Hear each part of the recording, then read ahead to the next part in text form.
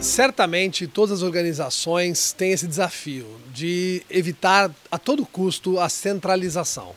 Uh, seja de poder, seja centralização de autoridade, isso não cabe mais na organização atual. Seja ela uma empresa de serviços, seja uma empresa uh, bens de capital, indústria, tanto faz.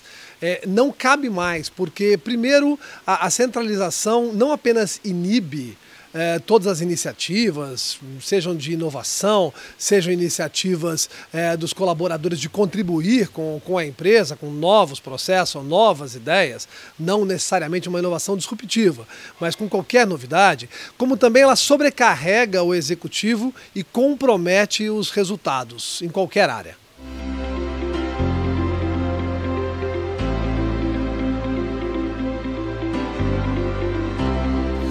Essa tendência da organização por redes, ela está em alguns segmentos mais no discurso ainda do que realmente na prática, mas é certamente uma tendência que cresce. E existem organizações que já estão mais avançadas, que conseguem bons resultados, e outras organizações que estão tentando uh, buscar esse tipo de modelo. E isso funciona muitas vezes, uma organização pode até ser uh, estruturada por unidade de negócio, o que realmente acontece com talvez 90% das organizações, sejam elas tradicionais ou novas, uh, mas tem algumas iniciativas, algumas células de excelência que buscam trabalhar com redes.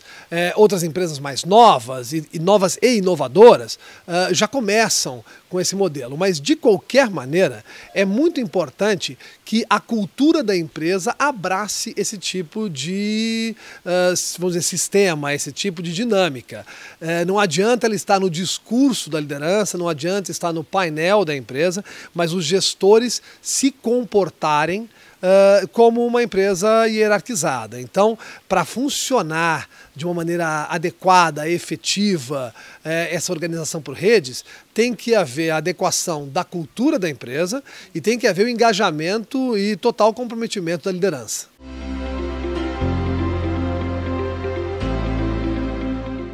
Inovação é uma palavra tão importante, mas que é usada tanto que às vezes perde o seu valor.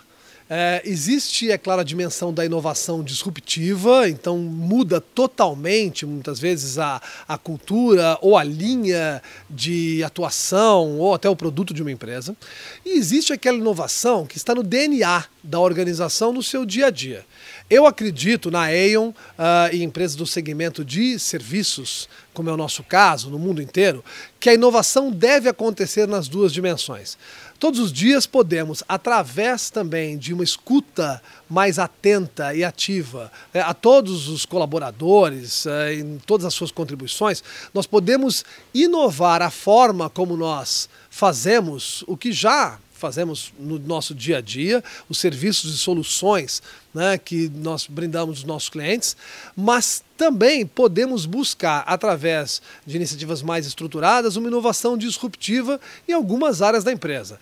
Eu acredito que essas duas dimensões podem caminhar uh, juntas, lado a lado, para que a empresa tenha sucesso, uh, continue com as suas áreas de negócio que já estão mais maduras e que por vezes podem fazer é, o funding, podem financiar inovações mais ousadas e que também serão importantes para o futuro da empresa.